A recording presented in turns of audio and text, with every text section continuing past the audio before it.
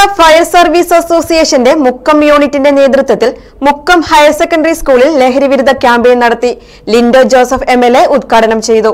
ആയുസും ആരോഗ്യവും സമ്പത്തും സൗന്ദര്യവും വിവേകവും നശിപ്പിച്ച് കുടുംബ ബന്ധങ്ങളെ തകർക്കുന്ന ലഹരിയുടെ വഴിയിൽ ഞാൻ ഒരിക്കലും സഞ്ചരിക്കുകയില്ല എന്ന സന്ദേശം ഉയർത്തിയാണ് ക്യാമ്പ് ഒരുക്കിയത് ലഹരി ഉപയോഗിക്കുന്ന പ്രവണതയിലൂടെ ആത്മാർത്ഥ സുഹൃത്തിനെ വഞ്ചിക്കുകയാണെന്ന് അദ്ദേഹം അഭിപ്രായപ്പെട്ടു.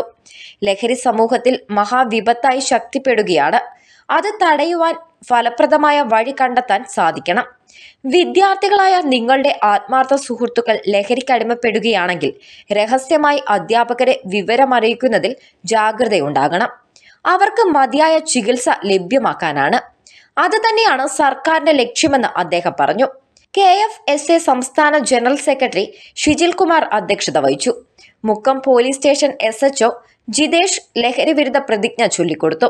ആർദ്ര മിഷൻ കോഴിക്കോട് ജില്ലാ nodal officer doctor C K Shaji civil excise officer Shafeeq Ali എന്നിവർ ക്ലാസ് എടുത്തു. School manager N K Abdu Rahiman Mukkam fire station officer P A Shamsuddin തുടങ്ങിയവർ പരിപാടിയിൽ പങ്കെടുത്തു.